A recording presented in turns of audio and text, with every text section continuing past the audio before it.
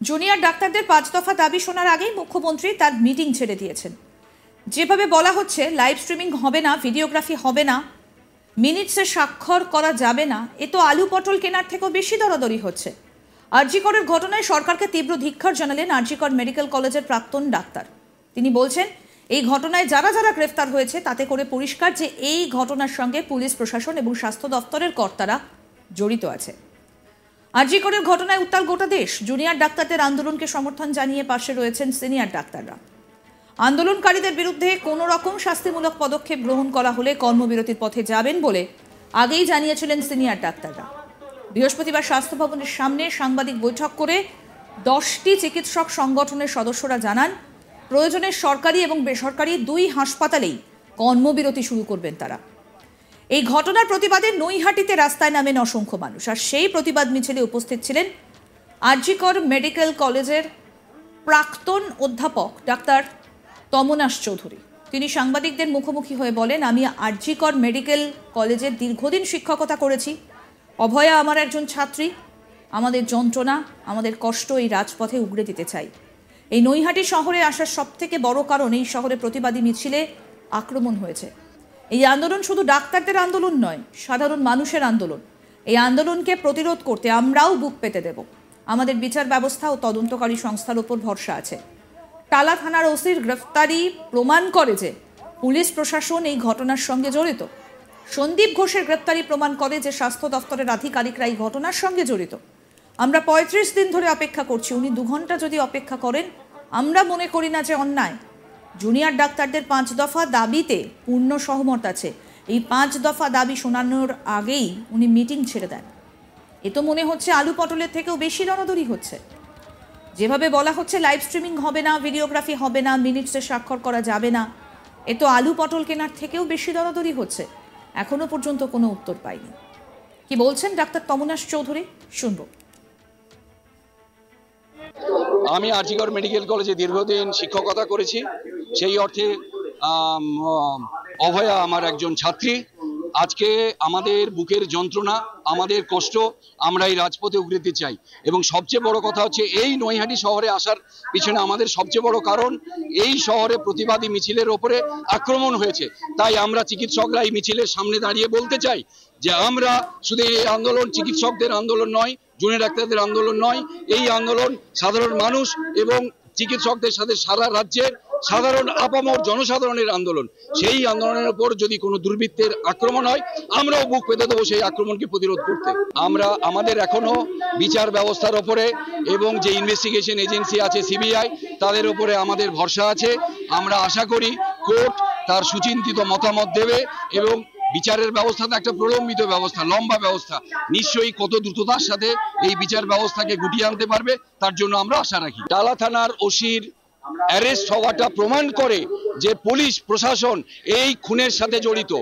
আমাদের আরজিগড় মেডিকেল কলেজের প্রাক্তন প্রিন্সিপাল সন্দীপ ঘোষের অ্যারেস্ট প্রমাণ করে যে স্বাস্থ্য দপ্তরের আধিকারিকরা এই খুনের সাথে প্রত্যক্ষ বা অপ্রত্যক্ষভাবে জড়িত আছেন। আমরা পঁয়ত্রিশ দিন ধরে রাস্তায় অপেক্ষা করছি।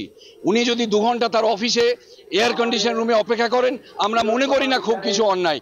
জুনিয়র ডাক্তাররা যে যে কথা বলেছিল, পাঁচ দফা দাবি, সেই পাঁচ দফা দাবিতে আমরা পূর্ণ সহমত আছে এবং এই পাঁচ দফা দাবি শোনানোর আগেই উনি তার মিটিং ছেড়ে দিয়েছেন। যে বিষয় নিয়ে বার্গেন চলছিল। এই তো মনে হচ্ছে আলু পটল কেনার থেকেও বেশি বার্গেনিং বলা হচ্ছে লাইভ স্ট্রিমিং হবে হবে না। ভিডিওগ্রাফি হবে হবে না। আমাদের পক্ষের করতে পারব তোমরা পারবে না পারবে না। মিটিং এর মিনিটস আমরা সই করব, তোমরা করবে না। এ তো আলু পটল কেনার থেকেও বেশি দরাদরি। তাই জুনিয়র ডাক্তারদেরকে বৃষ্টির মধ্যে তাদেরকেও তিন ঘণ্টা ঘরের বাইরে বসিয়ে রাখা হয়েছিল। সেটাও তো তাদের অপেক্ষা। পঁয়ত্রিশ দিনের পরেও তাদের তিন ঘণ্টার অপেক্ষা। এখন অবধি কোনো উত্তর পাইনি। আমরা যা আইনগত পরামর্শ নিয়েছি, যা আমরা আলোচনা করে দেখেছি লাইভ স্ট্রিমিং করার ক্ষেত্রে কোনো আইনগত বাধা ছিল না, তা লাইভ স্ট্রিমিং করা যেতে পারতো। নৈহাটিতে ফের পথে নামলেন জুনিয়র ডাক্তারদের সমর্থনে এবং সেখানে সিনিয়র ডাক্তাররা তারাও কিন্তু ছিলেন এদিনের মিছিলে এবং তারা যথেষ্ট বিরক্ত। তমনাশ চৌধুরীর বক্তব্য আপনাদের শোনালাম, বিশিষ্ট চিকিৎসক এবং তিনি বলছেন যে যেভাবে বলা হচ্ছে বৈঠক করার পরেও যেভাবে হচ্ছে না, তাতে বেশ বিরক্ত সিনিয়র ডাক্তাররা এবং তারা কিন্তু ইতিমধ্যেই আমরা দেখেছি যে গত বৃহস্পতিবারই সিনিয়র ডাক্তাররা বলেছেন যে জুনিয়র ডাক্তারদের ওপর যদি কোনো রকম কোনো শাস্তির খাড়া নেমে আসে, তাহলে কিন্তু তারাও পেন ডাউন করবেন। সেই কথাও কিন্তু সিনিয়র ডাক্তারদের বলতে শোনা গিয়েছিল। এবার নৈহাটিতে পথে নামলেন আবার সিনিয়র ডাক্তাররা। আমাদের প্রতিনিধি দীপক দেবনাথ কি বলছেন, শুনব। দেখো আরজিকর ইস্যুতে আন্দোলনরত জুনিয়র ডাক্তারদের সাথে মুখ্যমন্ত্রীর যে বৈঠক হওয়ার কথা ছিল দু দুবার সেই বৈঠক ভেস্তে যায়। এবং এই ভেস্তে যাওয়ার কারণ হিসেবে রাজ্যের মুখ্যমন্ত্রী মমতা ব্যানার্জিকে দায়ী করেছেন আরজিকরের প্রাক্তনী ডাক্তার তমনাশ চৌধুরী। গতকাল নৈহাটিতে একটি মিছিল ছিল এই আরজিকরের করের প্রতিবাদে। এবং সেই মিছিলে হাঁটার মুখেই যখন সাংবাদিকদের মুখোমুখি হন, তিনি সরাসরি মুখ্যমন্ত্রীকে দায়ী করেন। এবং তিনি বলেছেন যে মুখ্য, এই যে আন্দোলনকারী যারা ছাত্রছাত্রী আছে, তারা পঁয়ত্রিশ দিন ধরে অপেক্ষা করছিল এবং তারপরে অতিরিক্ত তিন দিন মুখ্যমন্ত্রীর বাড়িতে তারা অপেক্ষা করছিলেন। এবং সেক্ষেত্রে মুখ্যমন্ত্রী কিন্তু তার এসি ঘরে, অর্থাৎ এয়ার কন্ডিশন ঘরে রুমে বসেছিলেন দুই ঘণ্টা। তো সেখানে তার কি অসুবিধা ছিল? এবং ডাক্তারদের যে পাঁচ দফা দাবি, সেই পাঁচ দফা দাবিকে তারা সমর্থন জানায়। অর্থাৎ এই যে তমনাশ চৌধুরীর মতন যারা ডাক্তার আছেন, তারা ডাক্তার সমাজ বা নাগরিক সমাজ, তারা কিন্তু সমর্থন জানাচ্ছেন। কিন্তু সেই পাঁচ দফা দাবি কি কি? সেটি না শুনে মুখ্যমন্ত্রী বেরিয়ে গেলেন, বৈঠক ছেড়ে বেরিয়ে গেলেন। অর্থাৎ বৈঠকে তিনি যোগ দিলেন না।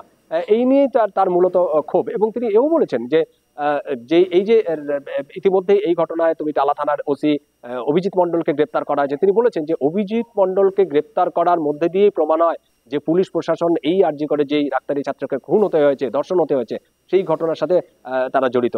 এবং এই যে আর্জি করে যে প্রাক্তন অধ্যক্ষ, ডাক্তার সন্দীপ ঘোষ, তাকে অ্যারেস্ট করা হয়েছে এবং তাকে গ্রেপ্তারের মধ্যে দিয়ে প্রমাণিত হয় যে স্বাস্থ্য দপ্তরের কর্মকর্তারা এই আর্জি করে যে খুন হয়েছে, সেই খুনের সাথে প্রত্যক্ষ কিংবা পরোক্ষভাবে জড়িয়ে রয়েছে।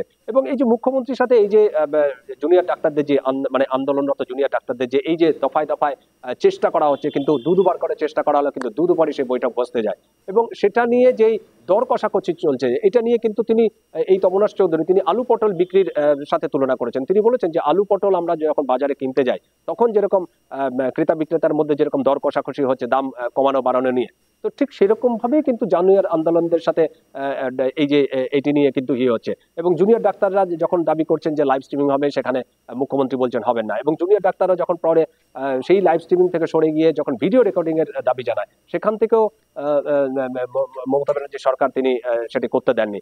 এরপরে যখন মিনিটস নিয়ে প্রশ্ন ওঠে, তখন মিনিটসেও কিন্তু মমতা ব্যানার্জির সরকার মানে তার যেটি দাবি তমনাশ চৌধুরীর দাবি, যে মিনিটস নিয়ে যখন প্রসঙ্গ তোলা হয়েছিল, সেখানেও কিন্তু মমতা ব্যানার্জি বলেছিলেন যে তার সরকারের প্রতিনিধিরা সেখানে সই করতে পারবেন, কিন্তু ডাক্তারদের প্রতিনিধিরা সেখানে সই করতে পারবেন না।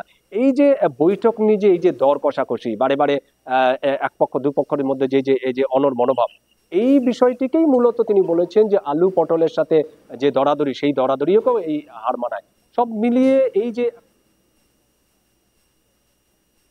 দেখতে থাকুন আজ তাক বাংলার ইউটিউব চ্যানেল, সাবস্ক্রাইব করুন।